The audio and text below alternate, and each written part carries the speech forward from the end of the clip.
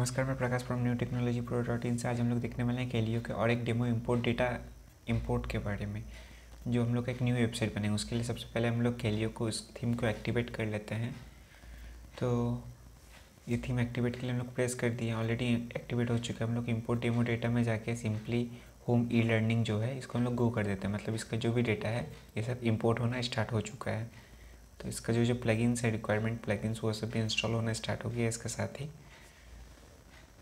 तो जैसे कि देख सकते हैं, ये सब इंस्टॉल होने में मे भी थोड़ा टाइम लगेगा।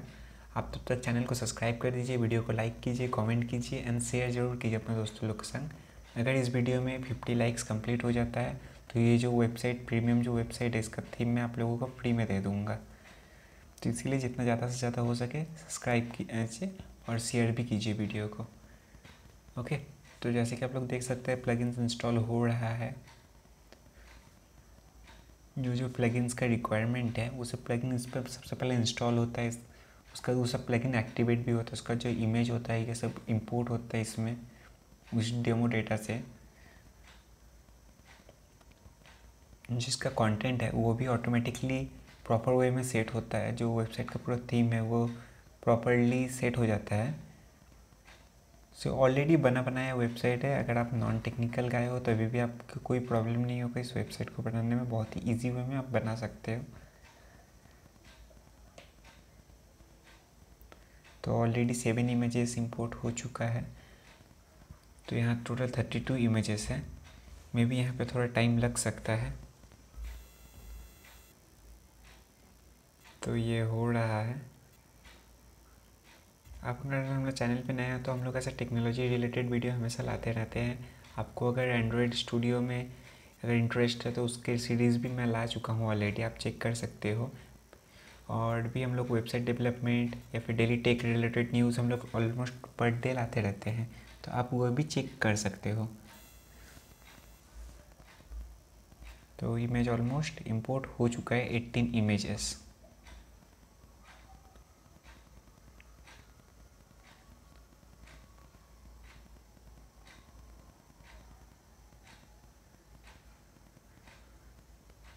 okay twenty three M already import हो चुके हैं।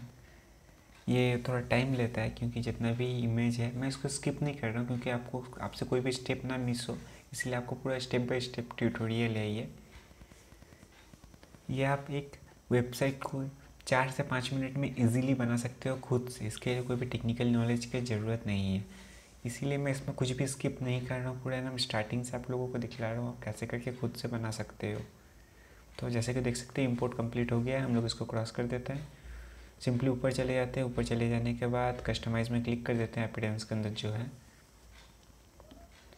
उसके बाद नीचे साइड में जो होम पे सेटिंग इसको सिलेक्ट करते हैं स्टार्टिंग पे सिलेक्ट करते हैं।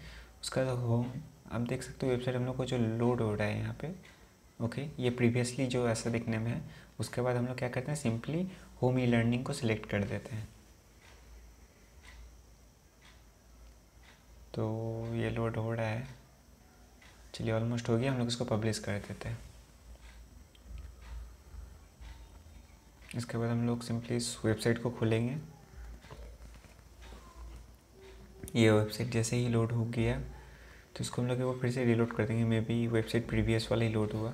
ओके जैसे कि लोड किया, आप लोग देख सकते हैं कि वेबसाइट ऑलमोस्ट रेडी है। आप इसको आप यूज़ कर सकते हो। तो इस वीडियो में बस इतना ही। हम लोग जाने कि ये वेबसाइट कैसे करके डेवलप किया जाता है बहुत ईजी वे में।